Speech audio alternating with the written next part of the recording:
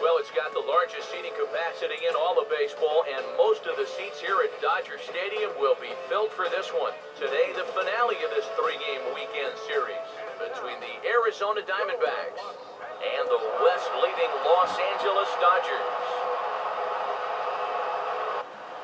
John Hulse will stand in as the watch is in full effect now as he's potentially closing in on a historic triple crown.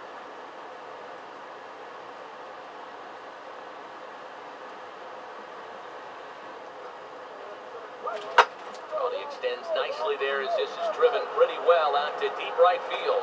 And they'll get on the board after all. It's a home run.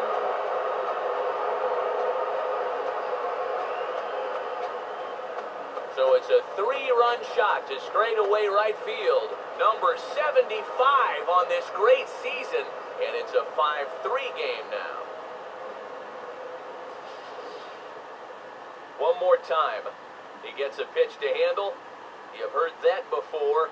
And you can add one more home run onto this already impressive number.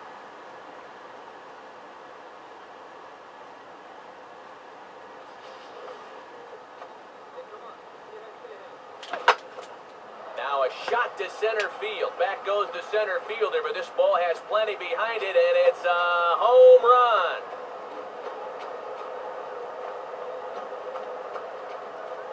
So it's a solo shot to dead center, and he closes in further. Number 997 of his career. As they pull within one here, it's now a 5-4 game.